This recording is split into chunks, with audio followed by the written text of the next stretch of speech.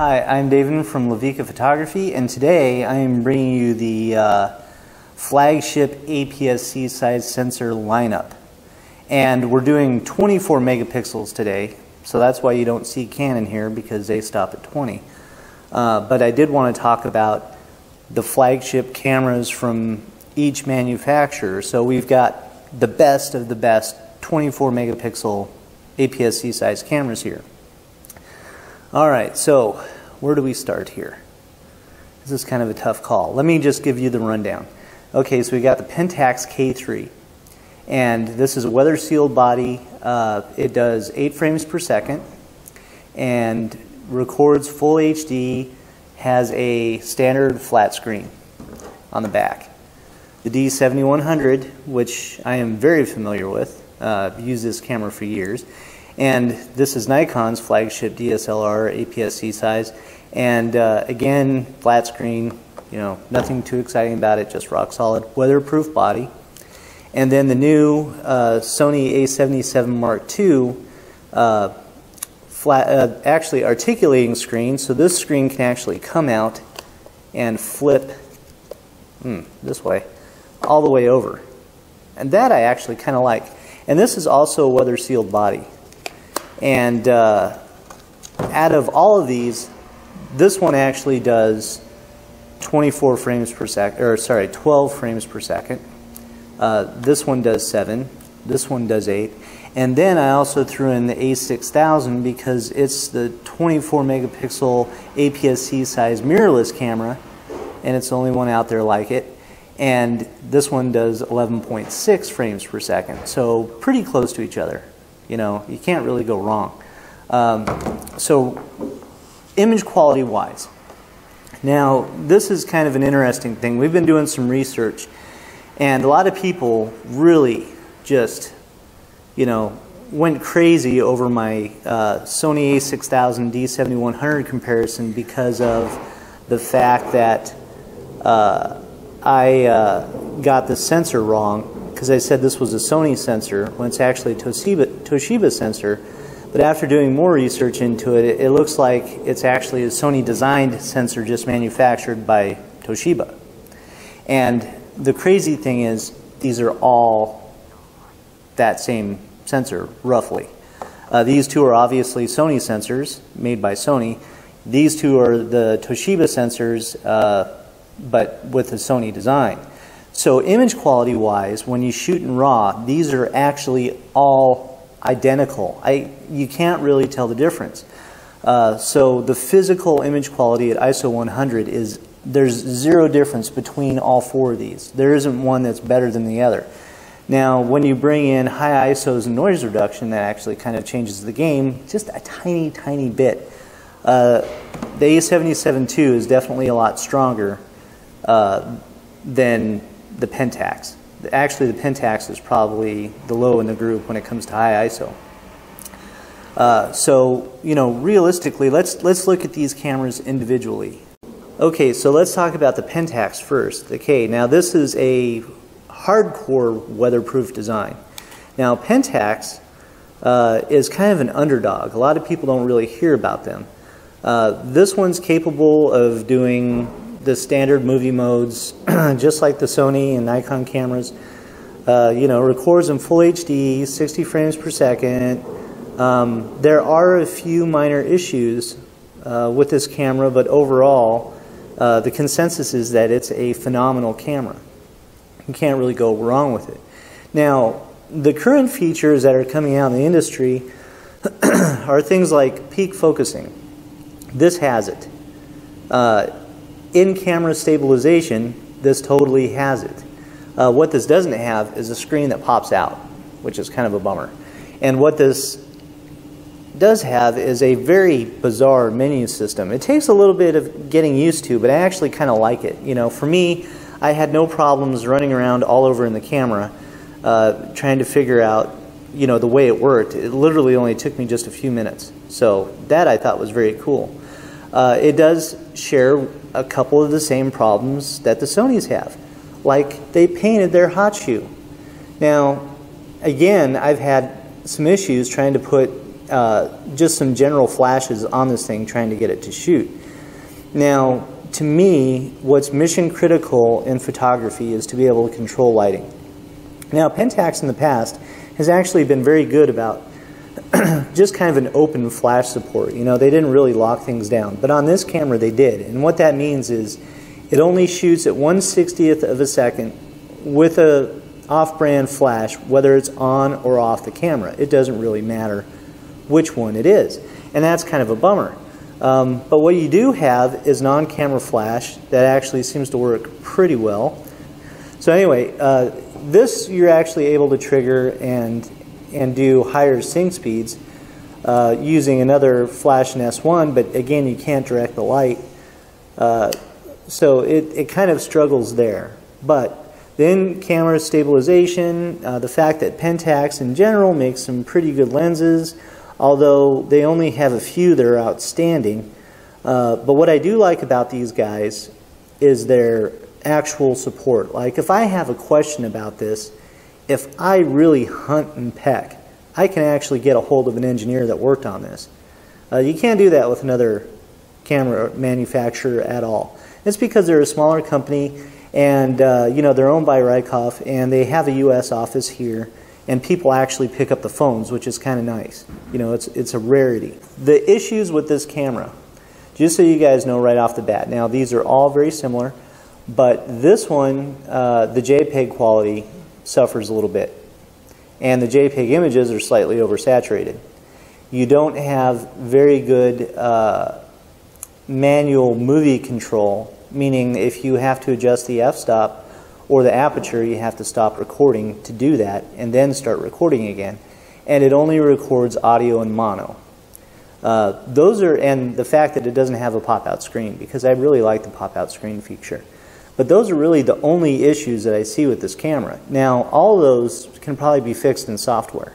And the cool thing about Pentax is if you actually look at their support for this particular camera, they come out with a software update for it every couple of months to add more functionality to it. So for them, I say very cool. Uh, but the only problem is you guys are wondering if I'm ever going to use this camera. Unfortunately, probably not because I use, I have piles and piles of manual focus lenses. And they don't adapt very well to this camera. They do adapt, there's adapters out there, but they have what they call a, uh, a magnifier that uh, it's like the old Canon FD uh, to uh, Canon EOS adapter where it has a glass element in there and that causes back reflection. So, you know, realistically, I'll probably never get to use one of these, but I really do like this camera. I think it's very cool really solidly well built. And after talking to uh, the people here at Tempe Camera, they have yet to see any of these come back for repairs. So, you know, that, that to me just says that, you know, these are really rock solid. Can't go wrong with it. Uh, but I just don't own any Pentax lenses. Uh, Sigma also makes lenses for this camera, which is good, so you've got alternative options. But as far as true third-party support goes, it kind of struggles because they're such a small manufacturer but they are an extremely well built. Okay, next up in our lineup is the Nikon D7100. And you guys know very well that I, I know this camera like the back of my hand. I mean, this thing is just a workhorse. And I've used these for a couple of years, which also means that, you know, the D7200, is that the next model that might come out? I don't know, but they are due for an upgrade. Uh, now, Nikon, as a cam camera manufacturer, is very how should I put this, conservative as to how they approach things. Now, what the D7100 does is it gives you excellent flash support. Um, it's kind of slow compared to our other cameras here. This is the slowest in the bunch at 7 frames per second. Uh, the autofocus uh, lags far behind everybody else as well because it's a slightly older system. It still does okay. Uh, there's really no problems with it. Uh, one thing I wish it did have was the pop-out screen. Uh, JPEG quality control and uh, high ISO shooting are excellent on this camera. I've never had an issue with that. Uh, my biggest gripe with this camera was the buffer. And if you shoot uh, a bunch of RAW files, it will fill the buffer up almost immediately, and then it takes forever for it to clear. Now, one way to get around that is to shoot in JPEG. But I prefer to shoot only in RAW. So that is an issue that you can't really overcome, and that becomes very problematic.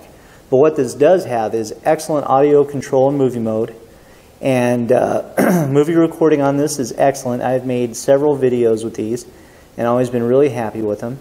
Uh, it has uh, GPS support, Wi-Fi support, although it's not built into the camera, uh, it has excellent audio playback. Out of all these cameras, it has the best audio playback. Uh, really good optical viewfinder along with the Pentax. Uh, so those are the only major issues that I have with it.